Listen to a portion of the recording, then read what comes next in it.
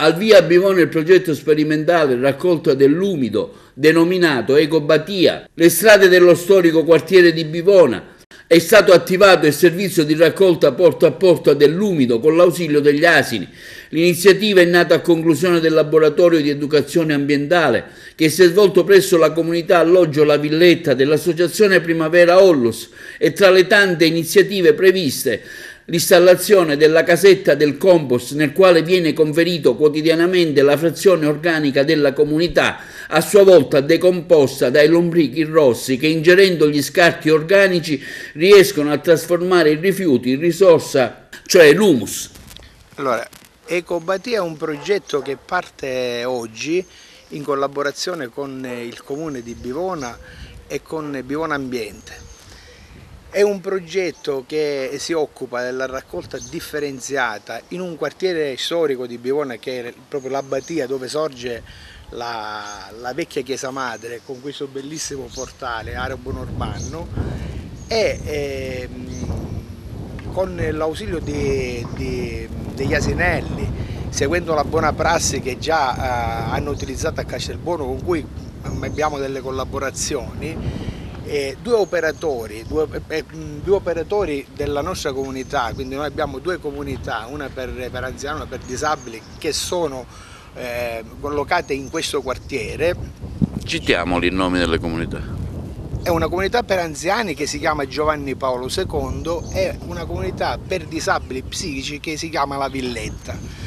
Allora, eh, questo progetto di raccolta differenziata dell'umido eh, nasce a, a, termine di un laboratorio che noi abbiamo realizzato all'interno delle comunità di, di, di, di educazione ambientale dove i nostri ospiti quotidianamente raccolgono la frazione umida per eh, portarla in una casetta realizzata sempre con un altro progetto all'interno dell'associazione, dell una casetta del compost dove eh, con l'ausilio dei lombrichi rossi della California viene trasformato in humus, per cui abbiamo oh, creato questo circolo virtuoso dove la frazione umida viene trasformata in compost che viene utilizzato per altri laboratori per fertilizzare eh, le nostre arance e i nostri orti, ortaggi che vengono, su, eh, vengono oh, coltivati su, su cassetta.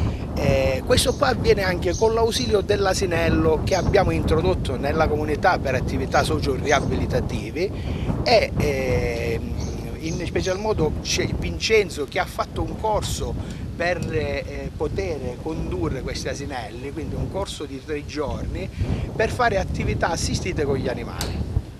Quindi alla fine di tutto questo progetto dico facciamo questo progetto sperimentale e vediamo che viene fuori questa collaborazione con i servizi sociali, con eh, i cittadini con, che, che so, si occupano dell'utilizzo degli asinelli per eh, girare attorno a queste piccole strade.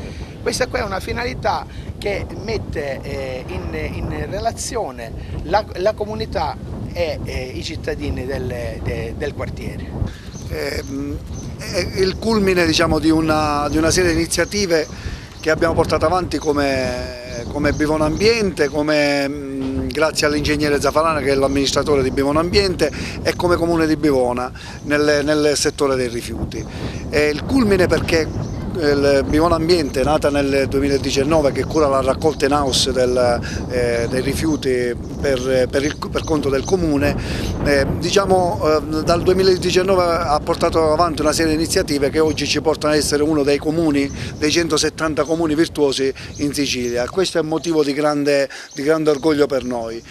Il culmine di questo progetto proprio perché eh, stiamo lavorando su una serie di, eh, di iniziative legate all'umido perché è la frazione più eh, più difficoltosa sia nella raccolta che nel conferimento. Eh, nel 2019 eh, conferire una tonnellata di umido costava appena 60-40 eh, euro, oggi siamo intorno ai 240 euro, quindi diciamo, incide tantissimo sul, sulla tariffa, incide tantissimo su, sui costi eh, di raccolta, di conferimento. Questo cosa comporta? Comporta che questa, questa tipologia di raccolta che stiamo portando avanti assieme a Primavera Onlus come iniziativa progettuale, assieme ad altre iniziative legate al, ehm, a Bivona Ambiente perché ehm, sono imminente la consegna di, di 50 compostiere domestiche eh, per un progetto che abbiamo avviato nel 2020 e eh, che arriva a culmine adesso dove praticamente eh, molti cittadini avranno la possibilità di fare compostaggio domestico presso le loro abitazioni, presso le loro sedi grazie al, ehm, a questa compostiera che verrà consegnata da Bivona Ambiente e che quindi abbatterà totalmente diciamo, eh, il conferimento del, dell'umido. Dell eh, a sua volta i cittadini avranno un vantaggio diciamo, di, questa, di, questa, iniziativa, verranno sgravati per una, per una percentuale eh, intorno al 10% credo, ma non vorrei, non vorrei sbagliarmi, sulla, sulla, tariffa. Quindi il, si chiude un cerchio, si chiude un cerchio interessante che ci porterà eh, ad avere dei risultati eccezionali, ma cosa più, più, importante è che i cittadini verranno alleggeriti da qui a breve, verranno alleggeriti anche nella, loro, nella spesa diciamo, della, della, tariffa eh, sui rifiuti. Al via questo interessante progetto che in un certo senso potremmo dire accomuna Bivona con Castelbuono, Sindaco? Assolutamente sì, un progetto che prende spunto da, dalla, bu dalla, buona prassi di, di, di Castelbuono eh, e che viene aggiunta di, di, un tassello fondamentale grazie all'associazione Primavera Ollus che ormai da tanti anni lavora sulla disabilità eh, e quindi mette assieme da una parte l'ambiente e da una parte anche la partecipazione di, persone che hanno delle, delle, delle, disabilità e che quindi si mettono a disposizione del, della comunità per, eh, per il rispetto dell'ambiente l'ambiente per eh, eh, diciamo, fare una raccolta ecologica attraverso, attraverso gli asinelli. E quindi come comune di Bivona ormai abbiamo avviato da, da, da tempo un percorso con eh, Bivona Ambiente, ringrazio l'ingegnere Zafarana, il vice sindaco che si sono adoperati su questo raggiungendo anche eh, finalmente dei buoni risultati sulla differenziata, ormai siamo, eh, abbiamo raggiunto il 70% di differenziata e punteremo a, a sgravare i nostri cittadini da, da eh, sempre più eh, abbassando la tassa della Tari. Eh, questi sono i nostri obiettivi, abbiamo presentato anche un progetto sul, sul CCR eh, e ne presenteremo uno sul centro di compostaggio perché sarebbe eh, una, una, buona cosa andare a fare un, eh, un, centro di compostaggio e quindi abbattere totalmente i costi del, del conferimento dell'umido.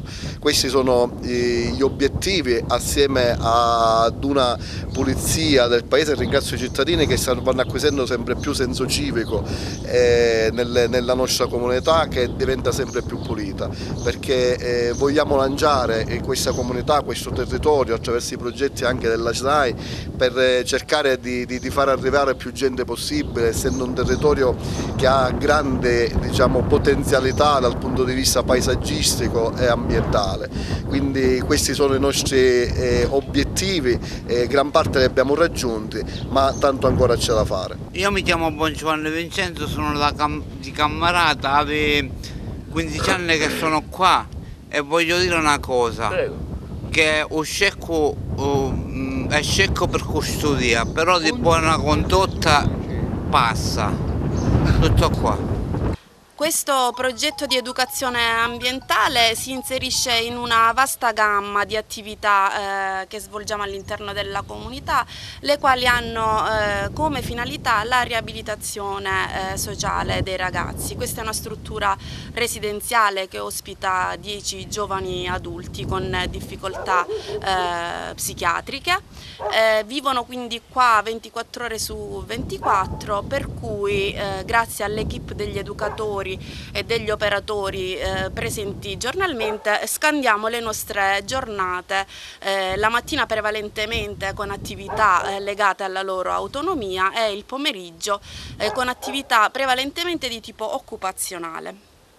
Una delle quali appunto è stato il progetto di educazione ambientale che ormai dura da eh, quasi un anno e oggi trova il culmine con l'inizio della raccolta nel quartiere Labatia. Come dicevo poco fa, eh, uno dei progetti. Eh, un altro eh, che ci tiene impegnato insomma, eh, per buona parte dell'anno è quello dell'orto orizzontale in cassetta. Grazie al laboratorio di falegnameria abbiamo realizzato eh, queste strutture eh, in modo tale che siano accessibili anche con carrozzina e si possa lavorare in una posizione comoda e senza, e senza barriere. Una, prerogativa nostra eh, appunto non porci dei limiti, lavoriamo anche in tal senso. Poi ehm, ci programmiamo delle uscite eh, con cadenza periodica, sempre con i ragazzi, anche se a causa del Covid eh, abbiamo dovuto passare molto tempo all'interno della comunità eh, e, e, poi insomma eh, stagionalmente o anche eh, in virtù delle ricorrenze che arrivano attiviamo dei laboratori, adesso è in attivo il laboratorio eh, di Pasqua, i ragazzi hanno realizzato le classiche pecorelle eh, con pasta di mandorle, eh, lavoriamo anche a progetti molto più ampi, eh, quindi eh, ci poniamo degli obiettivi con, eh, a lungo termine, anche a sei mesi. non siamo stati, non siamo comunque nuovi, non siamo diciamo nuovi a ehm, realizzare dei prodotti di una certa importanza. Eh, I ragazzi sono stati protagonisti nonché vincitori ad esempio di un festival eh, a carattere regionale, Menti in Corto classificandosi al, al secondo posto, eh, nonché eh, realizzato delle vere e proprie eh, produzioni teatrali e musicali che hanno avuto una grande eco non solo locale ma anche nei paesi, nei paesi limitrofi. Attualmente è attivo il laboratorio di musicoterapia e produrremo per l'estate eh, uno, uno spettacolo. Insomma. Io faccio parte di questa comunità da molti anni e questi sono i laboratori. Per ora che viene Pasqua abbiamo fatto queste pecorelle con la pasta reale, ora le confezioniamo. e queste campanelle, questi fiorellini abbiamo fatto tutto noi con la pasta di sale, quelle che fanno a San Biagio platani per gli archi di Pasqua. Ce l'ha insegnato qui questa nostra educatrice che lavora agli archi di Pasqua, è una signorara o madonnara? Signorara. Signorara. Ci sono signorare e madonnare, non vorrei farmi la nemica. Eh, la musicoterapia è, praticamente si, si, avvicina un po' agli asinelli, no? eh, di portare l'uomo più vicino alla bestia. Ora ci fa ascoltare anche un brano. Sì, la Regina della Campagna.